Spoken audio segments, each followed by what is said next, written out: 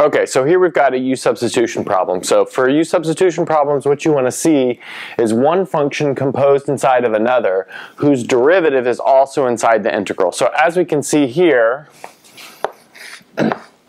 this function is com composed inside the cube root in the denominator, and the numerator is basically its derivative.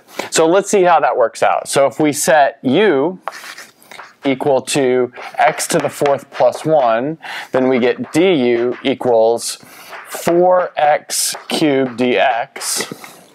And so that doesn't quite fill out the whole integral, but if we solve, we get 1 quarter du equals x cubed dx. And now we see that this bit we can replace with u, and this numerator along with the dx term we can replace with 1 quarter du. Okay, great. So let's see where that gets us. So we can factor the quarter out of the integral, and we have 1 quarter the integral of, and now let's replace this cube root with a rational power. So we have 1 over u to the 1 third du.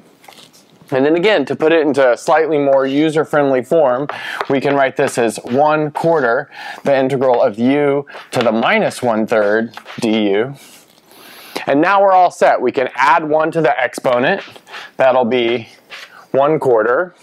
u to the 2 thirds. and then multiply by the reciprocal of the new exponent. So that'll be multiplied by 3 halves. And then we'll have plus a constant. Now finally, we can substitute back in for our value of u we get 3 over 8. And then remember, u was x to the fourth plus 1. So we have x to the fourth plus 1 to the 2 thirds plus our constant of integration. And that's the whole problem.